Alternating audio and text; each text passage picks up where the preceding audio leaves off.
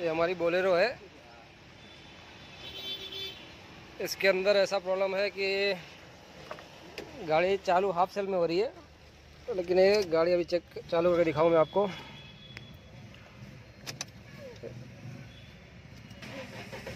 अब गाड़ी हमारी फटाक से चालू हो रही है, हाफ़ सेल के अंदर गाड़ी चालू हो रही है, ठीक है। इसके अंदर ऐसा है कि अभी पच्चीस सौ आर से ज़्यादा इसके अंदर रेस नहीं हो रही है। पच्चीस सौ आर से ज़्यादा इसका रेस नहीं हो रहा है। और गाड़ी चलते चलते ऑटोमेटिक गाड़ी बंद हो जा रही है। तो उसको हमने स्कैन करके देखा है। हमने इसको स्कैन किया। तो इसके अंदर कोड आ रहा है P B eight seven double zero वो भी करंट के अंदर आ रहा है, ठीक है।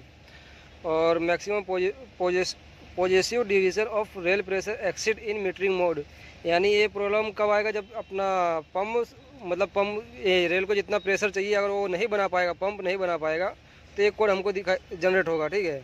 अब इसके अंदर मैं आपको चेक करूँ, इसका फॉल्ट किसका मैं आपको बताता हूँ।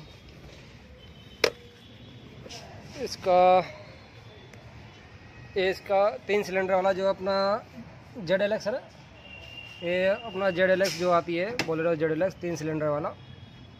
इसके अंदर इंजेक्टर नंबर आएगा फोर नाइन्टी सिक्स वाला। इसका पंप यहाँ पे लगा हुआ है। और पंप की स्विच वाला यहाँ पे लगा हुआ है, जिसको एप्रोको एप्रोकवाल बोलते हैं ना एम्प्रोकवाल तो इसके अंदर अभी क्या है, अभी मैं आपको चेक करके बताऊँ। इसके अंदर हमने चेक किया, इसका टाकी का मोटर फेल है। तो टाकी का मोटर चेक करने के लिए मैं हमारे पास एक गेज है। मैं आपको चेक करके दिखा दूँ इसके अंदर।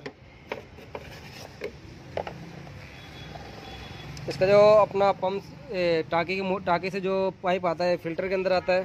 फ़िल्टर के बाद जो अपना पंप के अंदर जाता है एम्प्रोक एम्प्रोक वाल के अंदर जो जाता है, वो वाला पाइप हमको निकाल देना है। वो वाली पाइप के जगह पे हमको ये मोट, ये लगाना है, गेज लगा देना है। अभी चाबी चालू करो तो। चाबी चालू करने पे हमारा इसके अंदर प्रेशर आना चाहिए, मिनिमम चार बार तक आना चाहिए। ये दो ही बार तक आ रहा है प्रेशर इसके अंदर। तो ये प्रेशर कम आएगा तो ये गाड़ी हमारा कभी कभी चालू भी नहीं होगी, कभी चालू होगी अंडर हाफ़ सेल में चालू हो जाएगी और ये गाड़ी बंद होगी। तो ये हमारा फॉल्ट है टाकी के मोटर का।